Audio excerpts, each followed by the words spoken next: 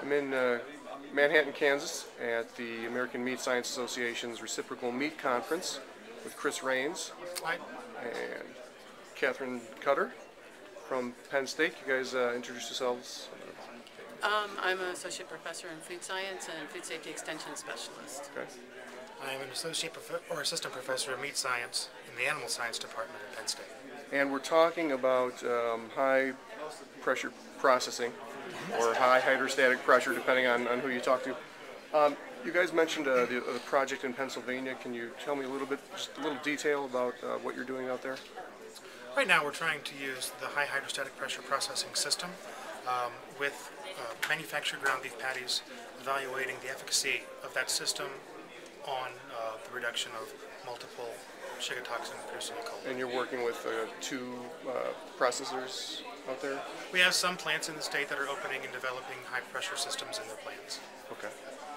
And, uh, in, during the uh, the talk, you mentioned something about the, the in, in your early trials, it's uh, the, the pressure has actually had some impact on color, Yes. and um, you said, but you did say it's manageable. In, in what ways? Uh, You can go through different uh, time and pressure relationships, Okay. as well as, as going through potential different color management ideas in terms of where it is in terms of the color cycle, what oxidation state it's in or oxygenation state it's in, um, as well as potential processing ingredients that you could use in the product to help manage the color shift. and on a related note, you also mentioned that HPP makes uh, complete sense post packaging.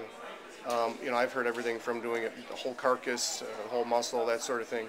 Um, why, uh, you know, are, are those probably just sort of novel approaches? Do they have any practical application? You know, possibilities to do sort of the larger, the whole carcass, or, or does it? Do You think post packaging is It's probably certainly where it's possible. at? What do you think, Kathy? Um, eh, from a standpoint of whole carcasses, I mean, there might be some advantages, especially if you're trying to get some reduction early on, but there's always the potential for cross-contamination in the final product.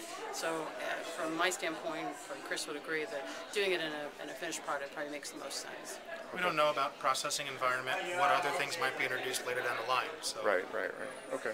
Um, you mentioned uh, that in your experiments you you saw a slightly greater log reduction on leaner meat. Yes. Um, we think that the um, higher fat concentration might have a pr- protective effect against the bacteria in the patties, and that uh, that's why we didn't see as great a reduction in the 80-20 as we saw with the 93-7. Okay. okay. Great. Thank you very much. Yep, All right, thank you.